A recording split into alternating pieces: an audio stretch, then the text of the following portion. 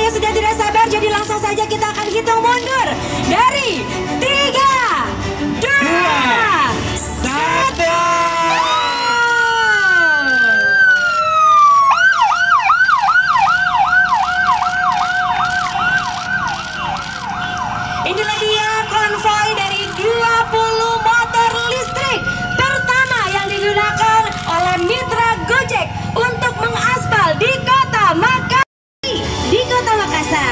Betul, mungkin eh, sudah cukup ya.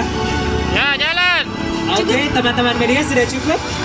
Nah, kita kembali mengarahkan eh, para ha- tamu hadirin dan VIP untuk bisa kembali ke restoran.